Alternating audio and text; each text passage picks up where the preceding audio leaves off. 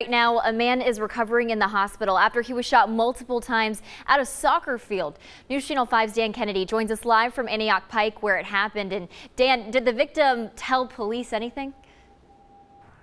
He was able to tell police that he was approached by four men and was shot by one of them. He was sitting in the complex, uh, the parking lot of this international indoor soccer complex. This is where Nashville's soccer team plays. In fact, they're hosting a game on Saturday night. The man was sitting a few parking spots away from that ticket booth outside of these soccer fields before 11 o'clock last night. He told police he was waiting for a soccer game to get done. That's why he was in his car, and that's when he was approached by these men and for whatever reason was shot. Uh, according to officers, this man was shot in his torso. He was shot shot in his hand and he was shot in his leg. Uh, those four men then sped away in a white Honda Accord. The search for them continues this morning, uh, but uh, this man was also uh, able to tell police a bit of a description uh, of the car, so thankfully they have that. When officers arrived, they wrapped a tourniquet around his leg and took him to the hospital. ER doctors say the quick response by officers and wrapping that tourniquet uh, may have saved this man's life. Of course, he is still in critical but stable condition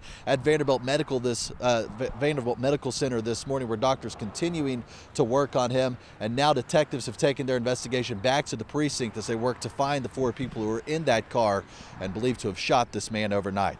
Reporting live in Antioch, Dan Kennedy, News Channel 5.